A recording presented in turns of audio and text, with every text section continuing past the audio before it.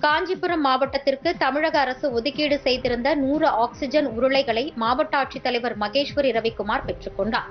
இந்திய தொழில் கூட்டமைப்பு சார்பில் வெளிநாடுகளிலிருந்து இறக்குமதி செய்யப்பட்ட எழுநூற்று ஐம்பது ஆக்ஸிஜன் உருளைகள் வாகனங்கள் மூலம் பல்வேறு மாவட்டங்களுக்கு அனுப்பி வைக்கப்பட்டுள்ளன. அந்த வகையில் காஞ்சிபுரம் வந்தடைந்த ஆக்ஸிஜன் உருளைகள் மாவட்ட அரசு மருத்துவமனைகள் ஆரம்ப சுகாதார நிலையங்கள் மற்றும் கொரோனா மையங்களுக்கு பிரித்து அனுப்பி வைக்கப்படும் என்று மாவட்ட ஆட்சியர் மகேஸ்வரி ரவிக்குமார் தெரிவித்தார்.